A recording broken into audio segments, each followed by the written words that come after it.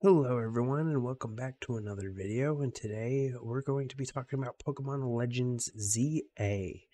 Um, this, oh, first, uh, it's kind of really early in the morning right now for me so I'm trying to be really quiet so if you notice that my voice is kind of being pretty quiet I'm pretty much whispering into the microphone right now.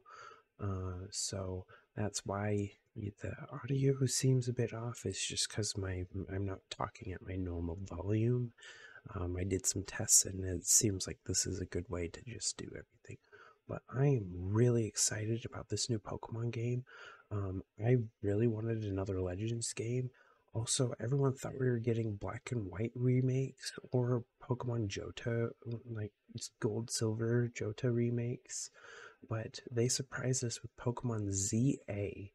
Uh, it ta- takes place in Lumiose City, uh, and there's so much to talk about. I have so much, so many videos I want to make. I want to make videos about the start, what the starters may be, what the the megas may be, what regional variants are we going to get? The, the, timeline. When does this all take place? How long ago was this? Or is this even in the past? Is it in the future?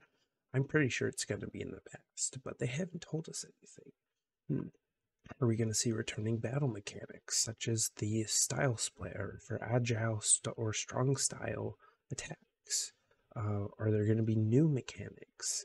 Uh, are they? Is there going to be multiplayer? Is there going to be? There's just so much that, that I would like to go over. So this video is just kind of telling you, hey, if you want to talk about this stuff with me and if you want to see my ideas, go ahead and hit that subscribe button. Uh, I hope you guys are as excited about this as I am, uh, and I will see you guys in the next one. See ya.